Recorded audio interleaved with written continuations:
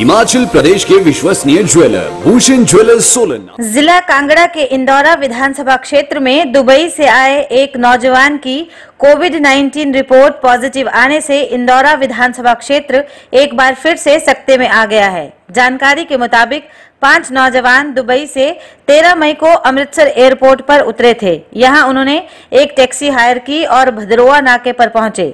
यहाँ से पुलिस ने उन्हें कंदरोड़ी क्वारंटीन सेंटर में भेज दिया। इन युवाओं के अनुरोध पर उन्हें डमटाल के होटल में ठहराया गया, जिसमें से एक की रिपोर्ट पॉजिटिव आई है।